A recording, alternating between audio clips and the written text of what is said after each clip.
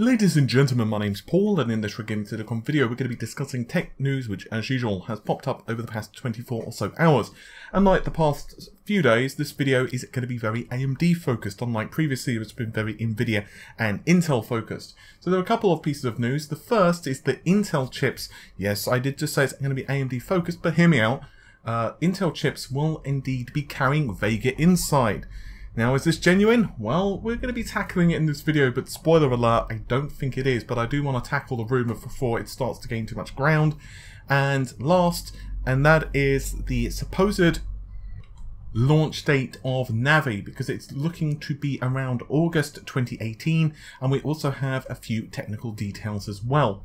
But as I said, first things first, let's deal with the whole Intel thing with Vega Inside, shall we?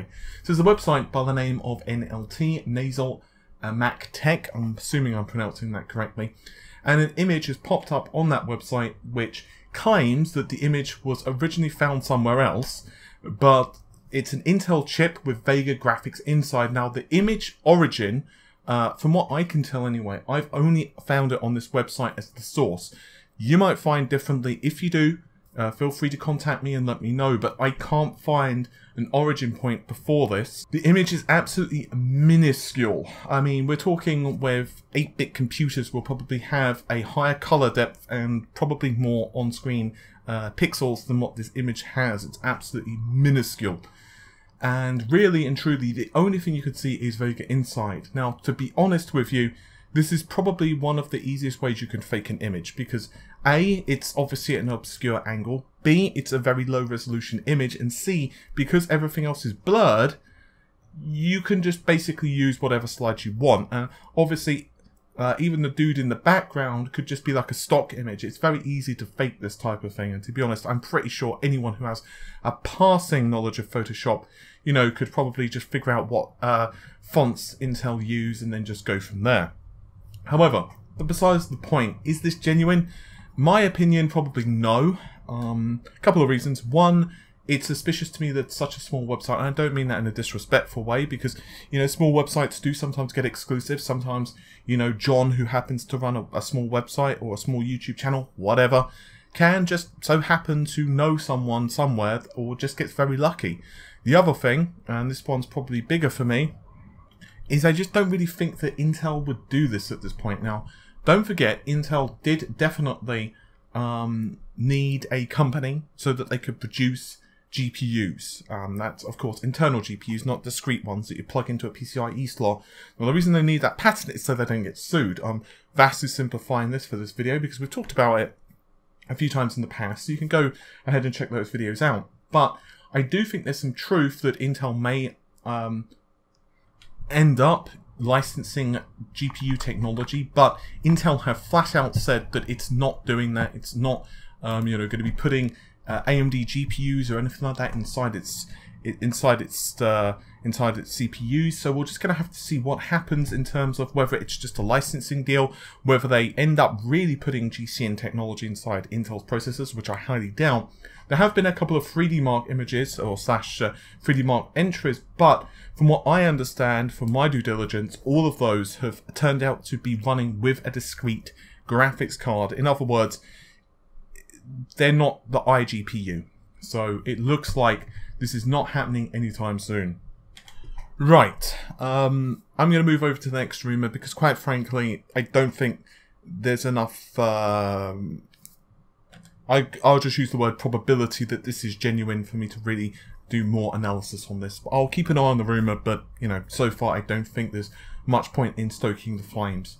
However, I will talk about another rumour, and this one I feel is much more likely to be genuine. There's an interesting report published by Tweaktown, and I'll read this out verbatim. It's quite a short quote. Once again, I have an exclusive story, this is them talking of course, that AMD will have Navi ready sometime in July to August 2018 with a Navi-based professional card launching at SIGGRAPH 2018. We're still waiting for AMD to launch the Radeon Pro SSG, something they unveiled during SIGGRAPH 2017 that yet just hasn't seemed to materialise. So there are a couple of notes which do kind of confuse me. The first is we're hearing a lot of talk, of course, about the Vega refresh. Now, that's a 12nm uh, Vega refresh, and essentially it's basically what you'd expect. This is not, you know, an increment of Vega. This is just them tweaking the architecture. This is just a small improvement. This is obviously going to reduce power consumption, reduce heat, and, well, hopefully increase clock speeds as well. And probably more important than that, possibly iron out uh, a few uh, issues with the uh, GPU and possibly just increase the overall efficiency. So if that rumour is true, and let's say that happens within the first three months, then I think people are going to be pretty damn annoyed if then we start seeing Navi. So there's a couple of options. The first is that Navi is going to be a, I don't know, paper launch, or Navi is only going to be for the bleeding edge. It's going to be for the very high-end cards, and much like Volta with NVIDIA, it'll take a while before it finally filters down to average users. So there are a couple of other notes, and these are not necessarily technical issues with Navi. Instead, they're just a few observational things. One of those is that you'll have noticed scalability along with next-gen memory. Now, I'm not quite sure what next-generation memory could mean with Navi because they're still having issues, quite frankly, with HBM, HBM, excuse me, too. So I don't know what they're going to do there. However, scalability is pretty obvious. It, of course, relates to um, multi-chip modules. Now, this is something that NVIDIA are already uh, kind of analyzing and looking at, and I actually discussed this earlier this year. In fact, there's a really interesting research paper. You can Google this yourself. You can search for uh, MCM NVIDIA and it will pop right up uh, to their official webpage, or I'll try to remember to link it in the video description. But essentially, they believe, and I'll, I'll quote this verbatim, most importantly, the optimized MCM GPU design is 45.5% faster than the largest implementable monolithic GPU and performs within 10% of a hypothetical and unbuild, unbuildable excuse me, monolithic GPU. Lastly, we show that our optimized MCM GPU is 26.8% faster than an equally equipped multi-GPU system with the same number of total SMs and DRAM bandwidth. For those wanting a translation of that, it's pretty damn simple.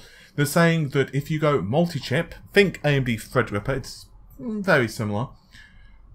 If they were to build a system like that, it not only outperforms about 25% faster, as you just as I just read, than a system. Let's just say, for the sake of argument, you have 2560 CUDA cores, uh, obviously, you have way more than that, but let's just use an easy number where we can kind of dissect it and do some maths.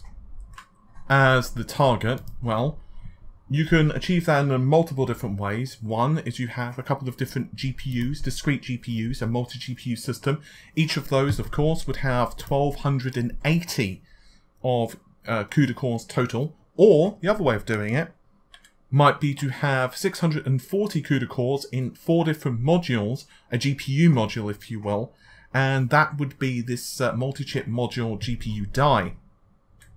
Each of these modules, of course, intercommunicates with one another along with the various caches and, and, memory. Yes, I am vastly simplifying this because it's not supposed to be a fully tech analysis type of video.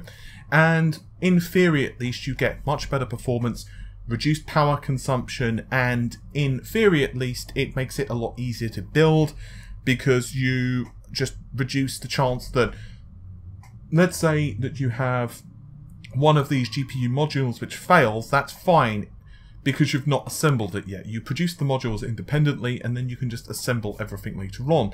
On the other hand, if you're producing a larger die, let's say, once again, 2560, well, what happens if just 64 of those, one of those clusters is dead? So 64 CUDA cores is done. Well, in which case the most obvious thing is then you have to take in binning to consideration. And if you were to look at it from the perspective of NVIDIA, that would mean that a GTX 1080 would no longer be a 1080. You would have to utilize the same core, which it does, as the 1070, and that's basically what we're going to get.